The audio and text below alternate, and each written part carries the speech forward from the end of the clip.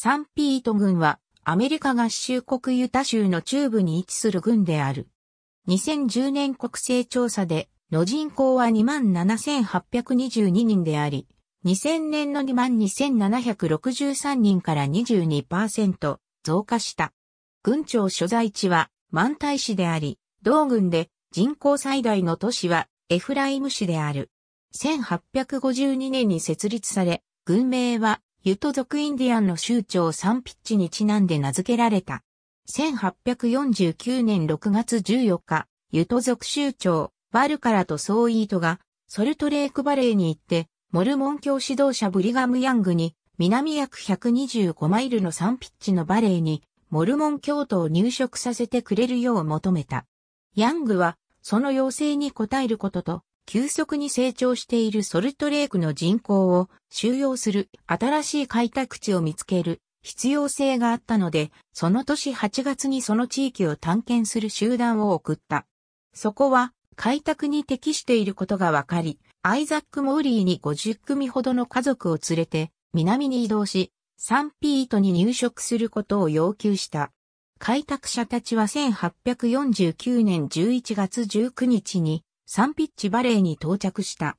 総勢224人の男女と子供たちであり、アイザック・モーリー、チャールズ・シャムウェイ及びセス・タフトが指導していた。そこでいくらか議論が行われた後、現在のマンタイ市の位置にこのバレーでは、最初の開拓地が設立された。19世紀が経過する中で、スカンディナビア諸国から多くの開拓者が入植し、その経過はサンピッチのサーガに収められている。アメリカ合衆国国勢調査局によれば、軍域全面積は1603平方マイルであり、このうち陸地は1588平方マイル、水域は15平方マイルで、水域率は0.91%である。サンピート郡の東側は、ワサッチ高原に仕切られている。ワサッチ高原は、標高約1万1000フィートにもなる。その大半は、満平サル国立の森の満体地区で覆われている。この山脈の西側斜面から流れ落ちる水が、軍内の都市部や農業地帯に供給されている。軍中央部は、サンピートバレーであり、そこに、軍内の町の大半がある。このバレーの西端は低く乾燥した、サンピッチ山脈であり、軍の西境界にもなっている。軍内を南北に流れるサンピッチ川軍南西部で、セビア川に合流している。セビア川バレーのこの辺りは、ガニソンバレーと呼ばれている。サンピートバレーにある、満大市、円形は、サンピッチ山脈サンピート郡は、ユタ州の中でも典型的な農業地帯であり、小さな農業町が点在している。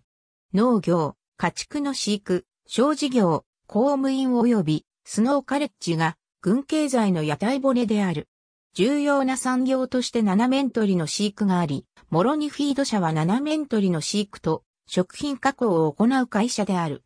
同社は販売会社ノーベストの部分所有者である。モロニの町内とその近くの七面鳥の加工工場、孵化場、飼育工場、プロパン倉庫及び販売所など軍内でいくつかの施設を運営している。州内全体の雇用数は600人を超えており、本社はモロニ近くにある。